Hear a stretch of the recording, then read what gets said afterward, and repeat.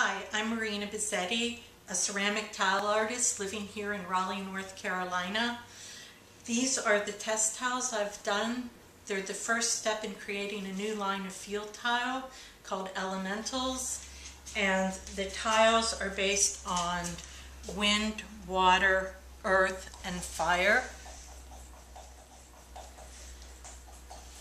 I I've mixed glazes and have kept track of which glazes are what by these, by the numbers or the initials.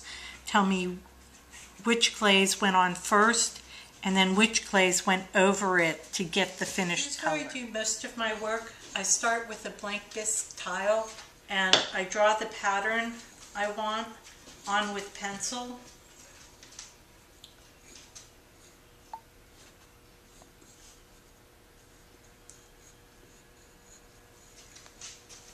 Then, using a little dish, I pour wax resist into the dish and then I go over the pattern with the wax resist and then using a slip trailer I squirt the glaze into the place into the into the waxed area and I use a small paintbrush to push the glaze to the waxed line.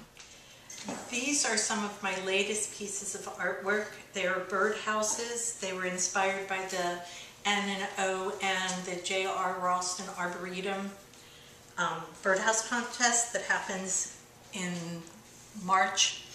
So they're fully functional and they come apart so that this part drops out and it's very easy to clean and then what holds them in is a threaded brass rod, rod with these nut caps on them that just slide out.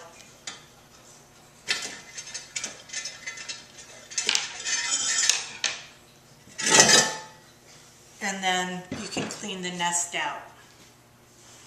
And this is my dog Belle who keeps me company.